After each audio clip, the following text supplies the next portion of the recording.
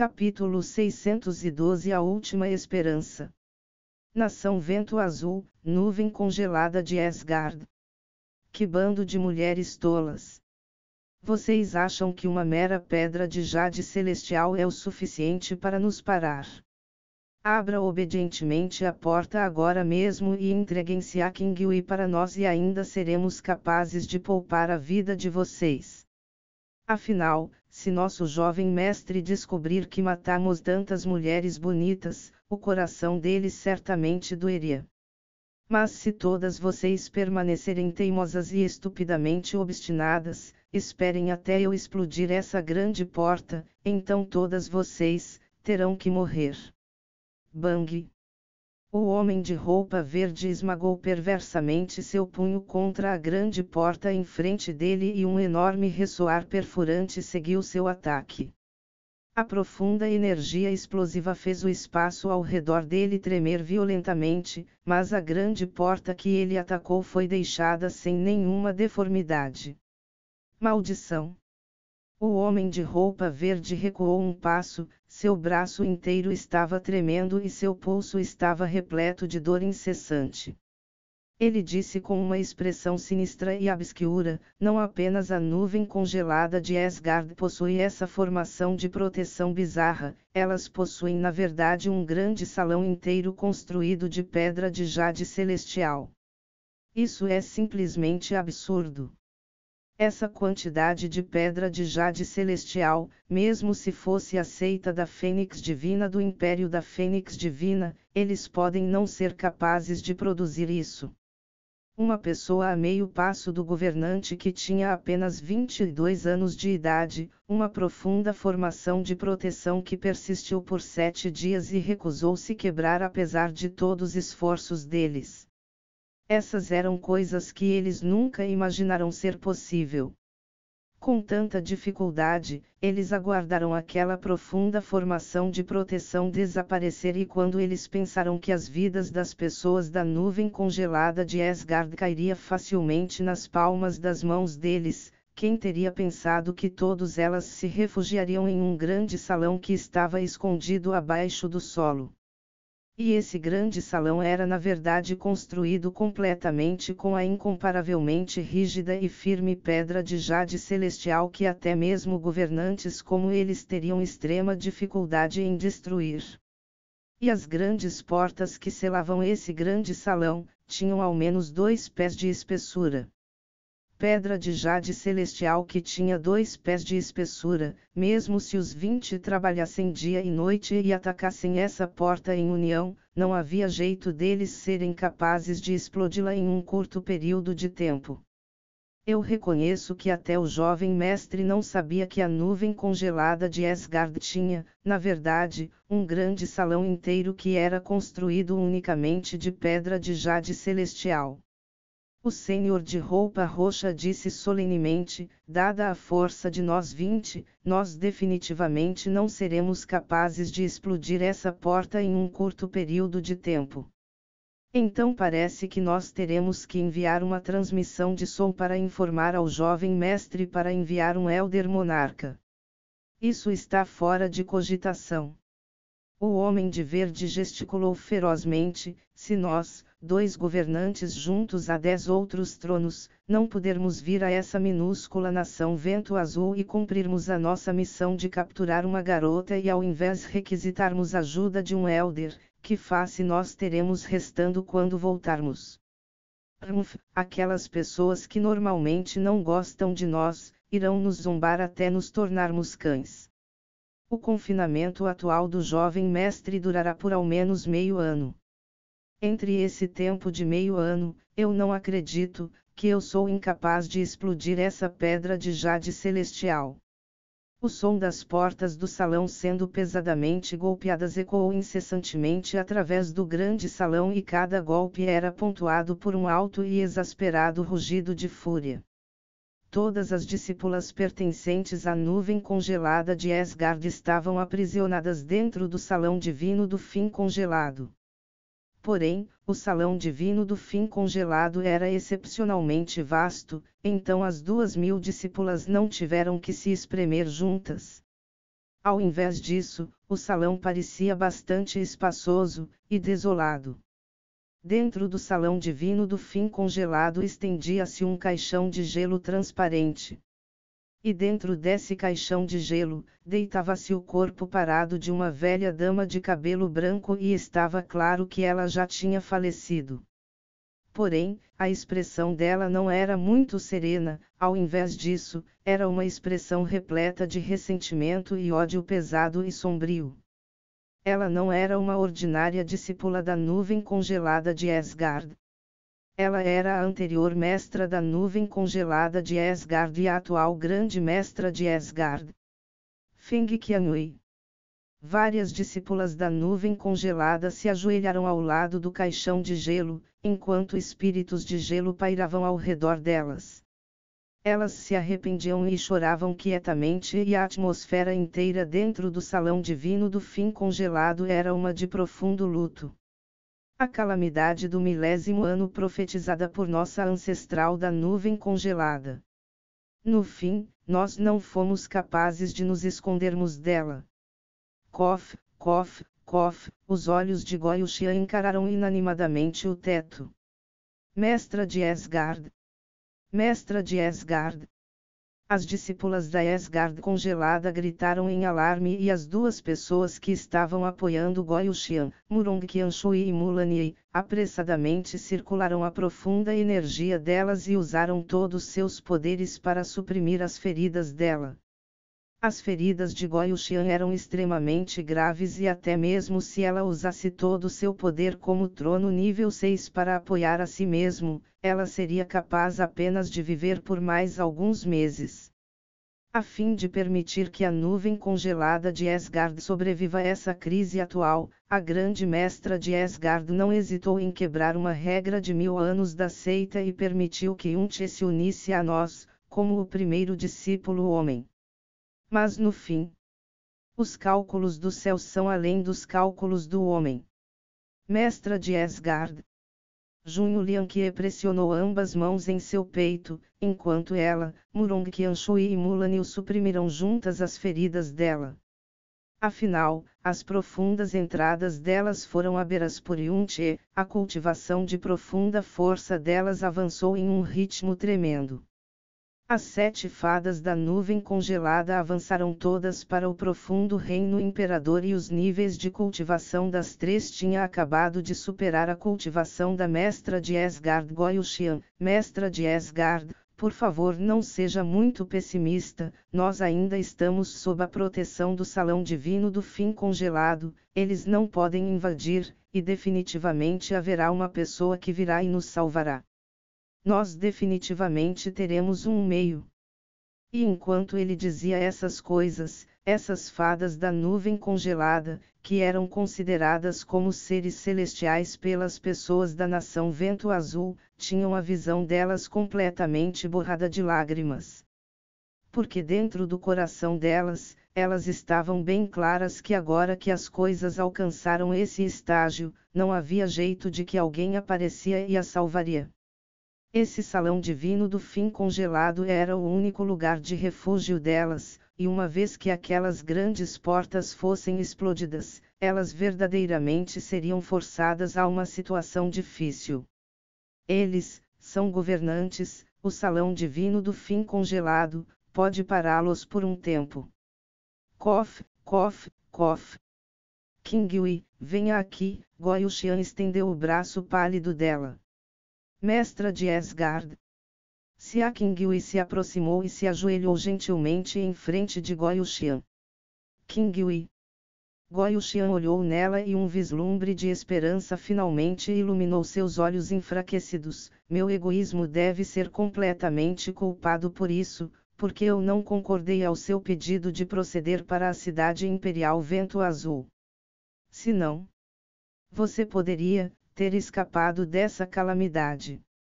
Não? Se Kingui balançou sua cabeça, não é a culpa da mestra de Asgard. Nesses últimos anos, a nuvem congelada de Asgard já havia transferido a maioria de seus recursos para a cidade imperial Vento Azul. Então essa discípula possui apenas extrema gratidão em seu coração. Ah! Goyushian soltou um longo suspiro, nossa nuvem congelada de Asgard prosperou por mil anos. Quem teria pensado que cairia em tal situação desesperadora durante minha geração? Eu desapontei a grande mestra de Asgard, desapontei nossos antepassados e desapontei nossa ancestral da nuvem congelada. Mas, Kingui, você é a discípula mais excepcional na história de nossa nuvem congelada de Asgard. Você tem apenas 22 anos de idade, porém a cultivação de sua profunda força já superou aquela de nossa ancestral da nuvem congelada. Contanto que você ainda viva, contanto que você ainda esteja por perto. Nossa nuvem congelada de Asgard verdadeiramente nunca morrerá, e as artes da nuvem congelada e as artes divinas do fim congelado, não cairão em obscuridade, e talvez haverá até mesmo, o renascimento da nuvem congelada mais uma vez. A cabeça de Siakingui levantou-se rapidamente e uma sensação de inquietação pôde ser ouvida na voz dela, mestra de Asgard. Use a profunda formação que a ancestral da nuvem congelada deixou para trás pelo propósito de escapar. E saia imediatamente. Goyushian disse em um tom urgente: apenas você é a mais qualificada para usar essa profunda formação. Contanto que você escape, nossa nuvem congelada de Asgard terá a esperança de reviver um dia. Vá, a profunda formação de fuga que Goyushian estava se referindo era a profunda formação que Unche perguntou a Siakingui sobre, quando ele entrou pela primeira vez no salão divino do fim congelado. Era algo que a ancestral da nuvem congelada de Asgard deixou para trás, antes de falecer. Ninguém sabia para onde levava e poderia ser usada apenas para fugir em tempos de grande perigo.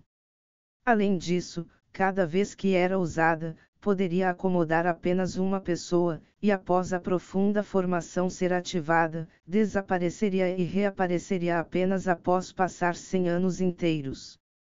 Então apenas uma pessoa entre as duas mil discípulas da nuvem congelada aprisionadas no salão divino do fim congelado poderia usar essa profunda formação de fuga para sair desse lugar. Todos os olhos caíram em Siakingui, mas nenhuma única das mulheres estavam com inveja ou insatisfeitas. Isso era porque se apenas uma pessoa pudesse escapar desse lugar, não importa quem fosse, no coração delas, todas sentiram que Siakingui era a única escolha porque ela era a mais brilhante esperança da nuvem congelada de Asgard e era apenas se ela escapasse desse lugar que a nuvem congelada de Asgard teria uma chance de ascender novamente mais uma vez para se vingar da calamidade que caiu sobre a nuvem congelada de Asgard hoje. Não? Siakingui balançou vigorosamente sua cabeça, eu sou uma discípula da nuvem congelada e eu deveria morrer e viver com a nuvem congelada de Asgard. Como eu posso desconsiderar as vidas e segurança da mestra de Asgard, minha mestra, minhas seniors e todas as minhas irmãs companheiras e fugir sozinha desse lugar?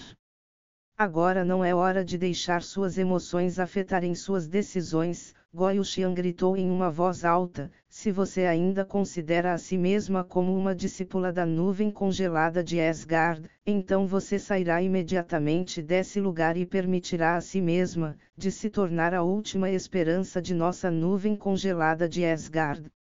Sua vida será a última esperança de nossa nuvem congelada de Asgard. Mas, não há mas.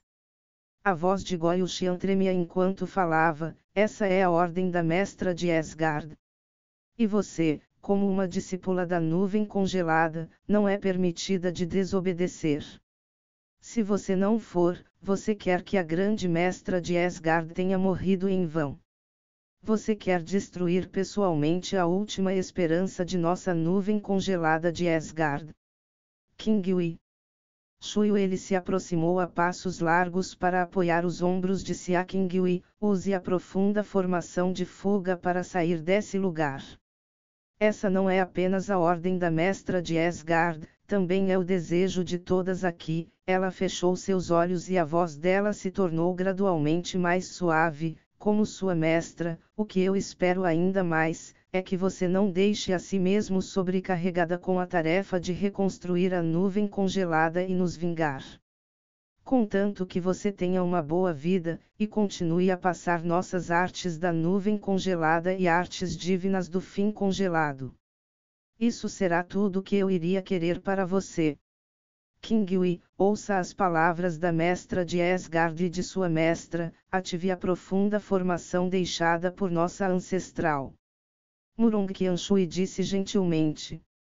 Kingui, você deve viver uma boa vida, você definitivamente não deve retornar, apenas pense em nós de vez em quando, certo? Feng Yanhui e Feng Yanshui disseram com lágrimas dançando em seus olhos. Irmã Júnior Xia, deixe esse lugar e nunca volte. Irmã Senhor Xia, por favor, tome conta de si mesma, todas nós suplicaremos por você. Um monte de olhares como cristais e diamantes focaram-se em Xia Qingyui, vibrando pesadamente o coro das emoções dela. Ela mordiu seus lábios e ainda balançou sua cabeça, não?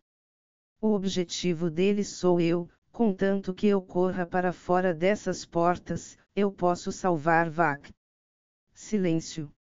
A voz de Goyushian estremeceu ferozmente e o rosto dela se tornou vermelho devido à agitação. Qingyui, dada sua inteligência excepcional, como você pode acreditar nas palavras daqueles vilões?